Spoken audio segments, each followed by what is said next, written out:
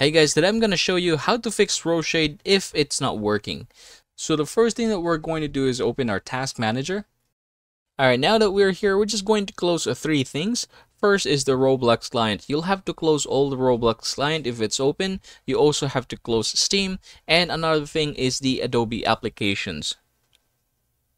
Now once you're done with that, you just have to close this one and then the next thing that we're going to do is we're going to download RoShade once again. So we're going to download the latest version of RoShade so we're going to click this one here and then we're just going to click download and then the same thing we'll just have to wait for a few seconds. Alright, click this one. Alright, and now it is being downloaded once again. We're just going to reinstall this one.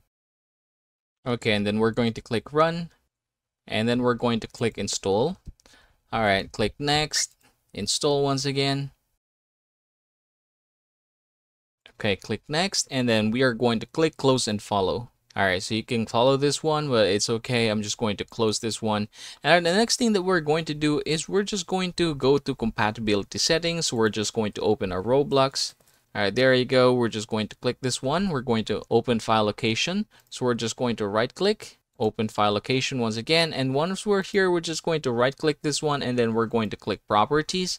And then we're also going to go to compatibility setting and then we're going to click this one disable full screen optimizations and we're going to click apply.